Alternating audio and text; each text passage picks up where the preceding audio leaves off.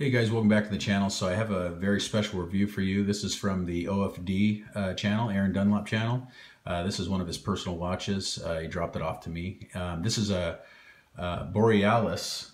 Uh, I believe it is called the um, Sea Storm. Okay, and it comes in a real nice leather case here. I really like this. Look at that. It's embossed in there.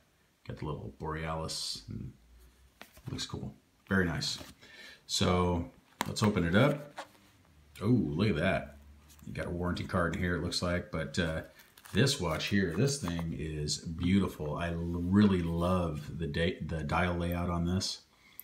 Um, look at that thing. Ooh, I love it. It's just uh, stunning. When you look at this thing, it's just stunning. It has that uh, Blancpain um, style, you know, layout here uh, on their old divers. Um, but that is just, oh my God, it's gorgeous. Wow. Okay, guys, let's go over this thing. So this is a Borealis um, automatic, of course. It uses a NH35 automatic movement, Seiko movement. You have the date aperture, aperture at the four o'clock, and um, we have a real nice sweep there. Look at that. I love how it's just the the hour markers and out and the hands are all white like that. It just looks real clean. Um, that white on black just looks real clean and easy to pick up real fast. Um, you have a you have a uh, black bezel with sapphire crystal over it, and then you have, of course, um, these um, on your uh, counter here, 15, 30, and 45. This is all uh, loomed okay, underneath. And then, of course, the hour markers, hands, that's all loomed as well. Um, but that's a really nice touch. I like that. I had a Seamaster that was the same way, an old 60 Seamaster, and I like it when they put it on the actual bezel like that. Very, very cool. Um, this one here is a 41 millimeter across. So not a too not too big of a watch. I was wearing this yesterday and it's very comfortable to wear. This one has a, a 20 mil uh, lug opening. Okay, so 20 millimeter bracelet, uh, NATO straps. This one's a nice rubber strap, whatever you want to put on there. That's 20 mil. So that's very popular. That's easy to find. You can get them anywhere. 20 mil, 22. You're going to be able to find that just about anywhere. Um, and some really good selections out there on watch straps like BluShark or even uh, Barton. Um, it's got good lume. Um, I'm not going to go through the lume. I'm sure you guys have probably seen this before. Um, double dome sapphire crystal. It's uh, 48 mil lug to lug and 41 across, like we were talking.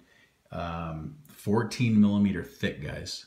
So kind of thick, kind of chunky. But you know what? The way it sits on your wrist, it's really not uncomfortable at all. Um, the bezel action on this thing, I like. Look how it's lined up. You can tell it, it lines up real nicely. Watch this. And I believe, yeah, it's 120 click. And that's just buttery smooth. I mean, lick, feel that, well, you can't feel it, but you can hear it. Very crisp when it lines up on every marker. That's just really nice bezel.